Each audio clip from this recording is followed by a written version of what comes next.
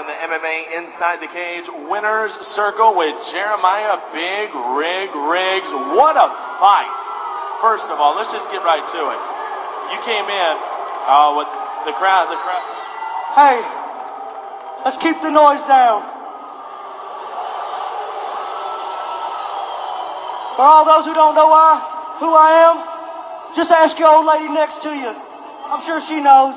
The sexiest man alive is in Tennessee, but too bad I like Ole Miss.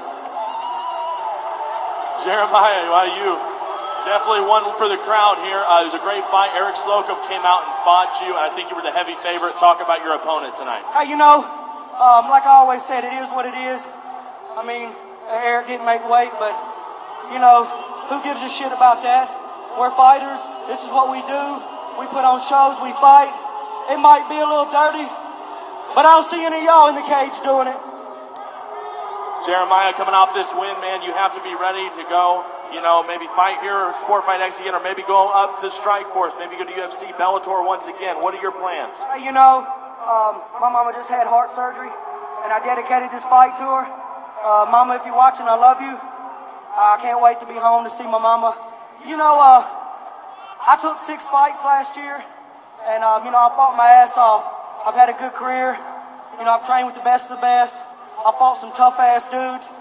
And, uh, you know, starting off 2011, this is a great win. It was a great war. You know, they can say if it's dirty, if it's want to, but it's fighting.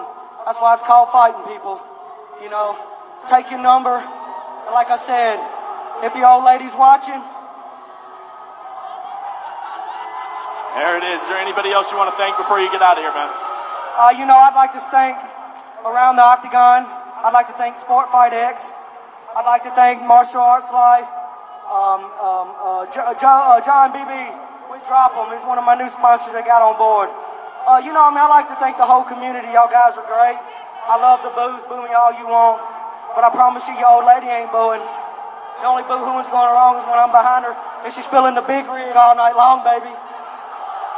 Jeremiah Big Rig Riggs, what a victory and what a speech to follow right here. Sport Fight X, we'll be right back.